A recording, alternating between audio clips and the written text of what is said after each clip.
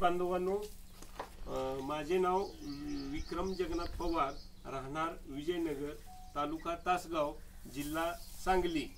कृषी विभाग आणि आर सी एफ बीज प्रक्रिया करण्यासाठी आर सी एफकडून वायूला मिळाली आहे आणि ती घरच्या घरी बीज प्रक्रिया करून दाखवणार आहे.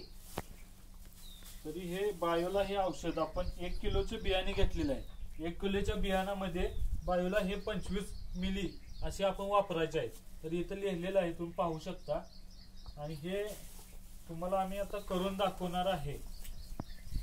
तरी हे बायोला हे औषध एक किलोचं बियाणं आहे. एक किलोच्या बियाणात हे पंचवीस एम एल आपण घेतलेलं आहे. तरी हे आपण त्या बियाणात मिसळले. मिसळल्यानंतर आपल्या हाताला काही सुद्धा होऊ नये म्हणून आपली काळजी घ्यावी.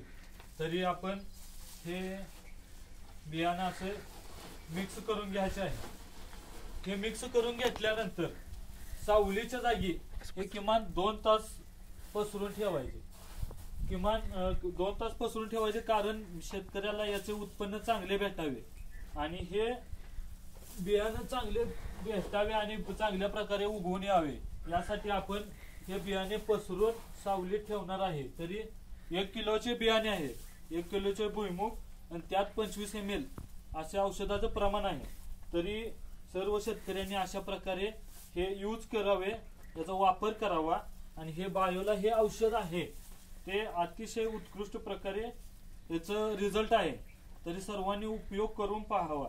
आम्ही आता करत आहे तुम्ही पण करा.